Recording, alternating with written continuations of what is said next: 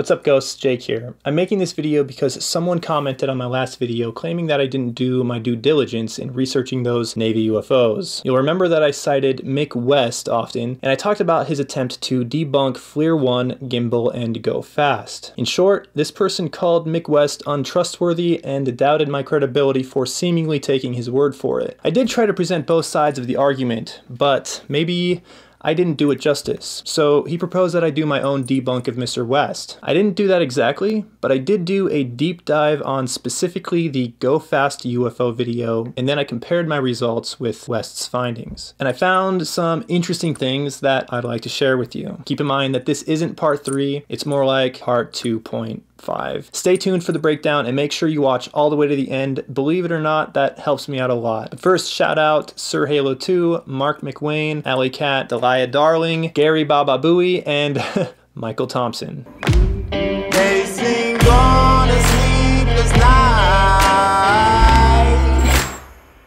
Catch me howling at the moon.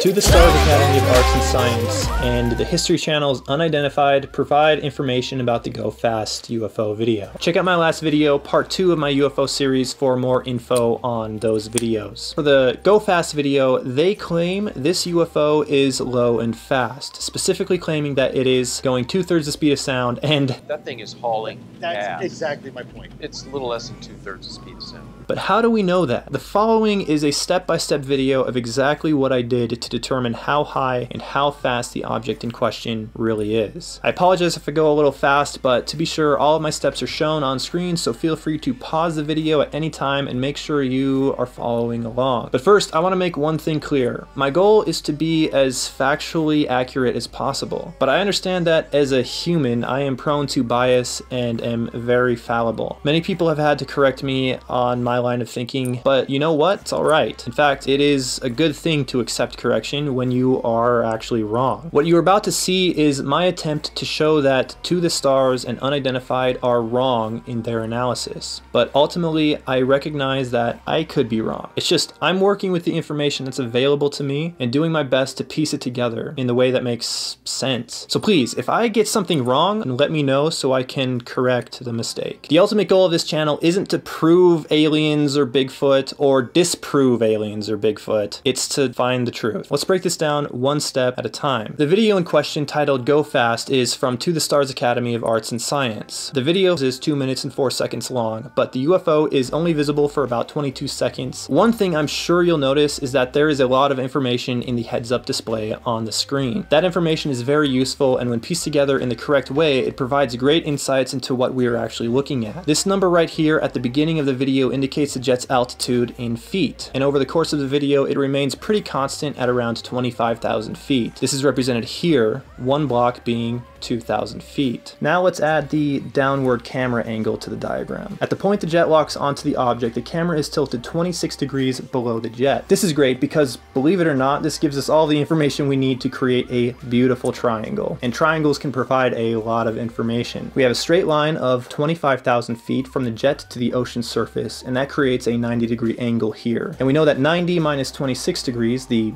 angle the camera is pointed downward gives us 64 degrees. With these three pieces of information, we can know the side lengths of both the adjacent side, the hypotenuse, and the opposing third angle. So the other angle is 26 degrees, the adjacent side length is 51,257 feet, and the hypotenuse, the longest line, is 57,029 feet. So at the beginning of the video, when the camera locks onto the object, we know that the UFO is somewhere in this line. But how do we go about determining where exactly it is in that line? Well, well, it's actually pretty simple. This number is the range. It indicates how far along the slant the object is, that would be 4.4 nautical miles. 4.4 nautical miles equals 26,735 feet. So all we need to do is measure down the hypotenuse 26,735 feet and we have all of the information we need for a new exciting triangle. And once we figure out the dimensions of our new triangle, like we did before, we can see that the UFO is 11,720 feet below the jet. And 25,000 minus 11,720 feet gives us 13,280 feet above the ocean. Does that sound very low over the water to you? It's lower than the jet, but it's actually closer to the height of the jet than it is to the water. Unidentified and to the stars, what say ye? Okay, but what about how fast the object is going? It's a little bit more complicated, but not much. Really all we need to do is the same thing we did for its start position for its end position, and then measure the distance traveled. And since it's fairly clear that the object's altitude doesn't change over the course of 22 seconds, we can switch to an overhead view for the next part. This will help us visualize the actual distance traveled. To do this, we need to factor in the degree in which the camera is turned from the horizontal axis of the plane. This number indicates that the camera is at a 43 degree angle to the left of the jet when it first locks onto the object. Now keep in mind that this doesn't change our side view perspective at all. It's just that from our side view, you can imagine that you're looking at the triangle, able to see its entire breadth, while the jet is pointed 43 degrees away from our point of view. That makes it jive with reality and everything. We know that this distance is 24,029 feet. So from our top view, all we need to do is measure that distance, and there the UFO is, at 43 degrees left of the jet. Now let's figure out where the jet and UFO are in relation to each other at the end of the video. In order to do that, we need to know how fast the jet was traveling. This number here is a calibrated airspeed in knots, which is nearly constant throughout the video. But just to be overly clear here, at the point the camera locks onto the object, the jet is traveling at 253 knots calibrated speed. And at the end of the video, it is traveling at 258 knots calibrated speed. To give you some context, this is a difference of less than 6 miles per hour. And 6 miles per hour over the course of 22 seconds, the length of time from when the camera locks onto the object to the end of the video, is negligible. So for the sake of simplicity, I'm going to split the difference and assume it, it is traveling at a constant speed of about 256 knots calibrated airspeed. However, the calibrated airspeed isn't its true airspeed. Using an aviation calculator online, we can get a good idea of its true airspeed. At 25,000 feet and a calibrated airspeed of 256 knots, this gives us a true airspeed of about 372 knots. From the time the camera locks onto the object till the end of the video, there is a span of 22 seconds. We want to convert 372 knots, the speed of the jet, into feet per second. This will allow us to determine how far the jet traveled in feet over the course of 22 seconds. Uh, 372 knots converted into feet per second gives us about 628 feet per second. So 628 feet times 22 seconds gives us 13,816 feet per 22 seconds. So this is how far the jet traveled if it went in a straight line. You might have noticed that the jet banks about 15 degrees left, as indicated here. Factoring this in, this is about what we get. And this is significant if we are to get a good idea where the UFO is at the end of the video.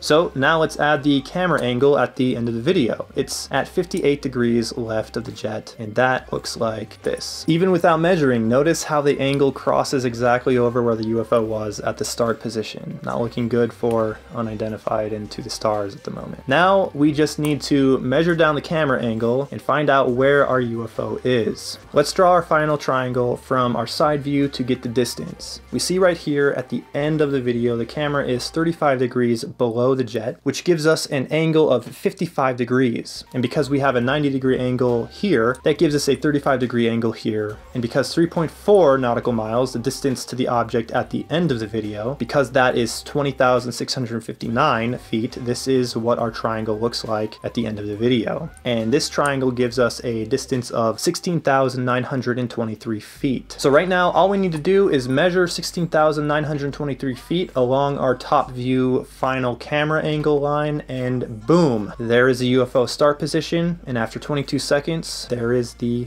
end position of the UFO. And this is what it looks like all put together. Now let's measure the distance traveled of the UFO itself. It's a little less than one of those 2,000 feet blocks. It's about 1,750 feet. And that might sound like a lot. It must have been Hauling That's ass. exactly my point. but if we divide that into 22 seconds, that gives us about, we'll say 80 feet per second. And that also sounds like pretty fast, right? But that is about 47 knots, which to give you some perspective, that's 54 miles per hour, not two thirds the speed of sound. And I just want to emphasize that I did this calculation independent of Mick West's calculation. And if you remember from his analysis of the Go Fast video, he got that the object was traveling anywhere from 20 to 40 knots. So mine is a little higher than his high estimate, but not by much. And by no means is this thing going two thirds the speed of sound. Not even close. It should be noted that by far the most difficult thing to account for in this video is the jet banking to the left. It's hard to know for certain the exact amount it banks and to factor it in exactly. That's why in West's video he gave a range estimate from 20 to 40 knots. The speed of the object would change a little bit depending on how fast the jet was banking.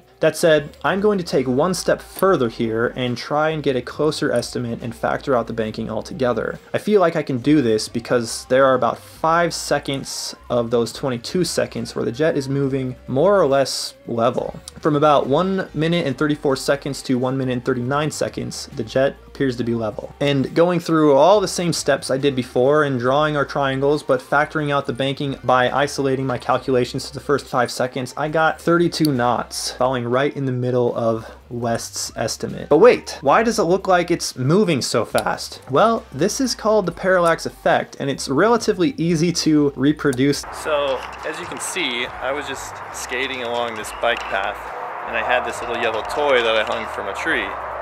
And uh, you can see, obviously see that it's stationary, and but because of my motion past it, and because I'm zoomed in on it, the background is zooming by, giving an illusion that it's moving. And if you didn't see the tree that it was hanging from, you might actually think that it was moving. That is the parallax effect.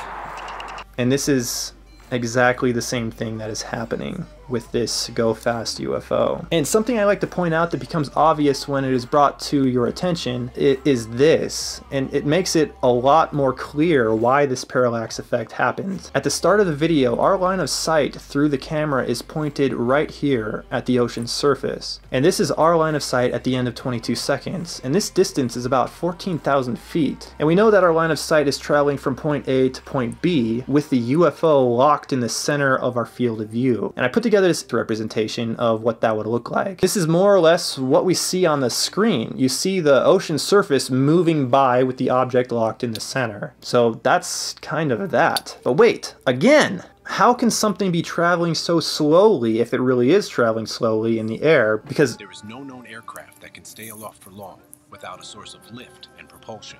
Well, it's because it's most likely a weather balloon that can stay aloft for long periods of time. All of its characteristics suggest that is what it is, and Luis Elizondo himself said that's what it was in an official government document. This is an independent confirmation of Mick West's evaluation on the Go Fast UFO video. Keep in mind that I am not speaking to the FLIR 1 video or the gimbal video at this time. I actually believe that something strange was going on with FLIR 1, and I'm on the fence about Gimbal. But as for Go Fast, this is not what the people from To the Stars and Unidentified say it is. Luis Elizondo, former head of the Advanced Aerospace Threat Identification Program and current Director of Government Programs and Services at Tom DeLonge's To the Stars Academy of Arts and Science. Barring my own and Mick West's analysis being faulty, you are either ignorant of the reality of your own video or you are purposely attempting to mislead the public. And considering that you yourself wrote wrote balloon in an official document describing this thing, I think you know it's a balloon. But maybe Mr. DeLonge doesn't. So, Tom, I'm giving you the benefit of the doubt here, but I implore you to take a serious look at the Go Fast video and reevaluate your thoughts on it. Thank you everybody, please like and subscribe, help me out on Patreon so I can make these videos more often, and make sure to share this video to get the word out. My goal still is to have a thousand subscribers by the end of the year, and you guys are already amazing and helping me do that. I appreciate it a lot. Lastly, make sure to let your voice be heard and vote right here on what we should investigate next. I've gotten a lot of good suggestions, and here is your chance to help direct this channel. Should we deep dive into Maddie Ann and her paranormal stalker, Sean McNamara and his mind possible telekinetic powers, or Noah the time traveler from the year 2030?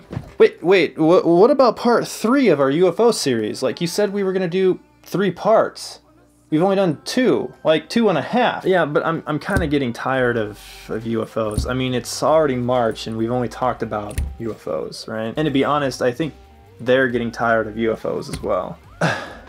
you just you just don't want to address the full-bodied alien grays inside the cockpit over the UFO over Turkey. No, I, I assure you that is not the reason because there are no gray aliens inside the cockpit. Whatever. Why don't we let them have a choice? How about option four, the UFO turkey incident? Well, okay, what's it gonna be? Vote now and let us know. Thank you for watching, and we'll see you next time. Looking forward to you guys voting. Stay tuned for our next video. I'm looking forward to it, and I know he is too. Let's do this. Yeah, turkey UFO, turkey UFO, turkey UFO, turkey UFO, turkey UFO.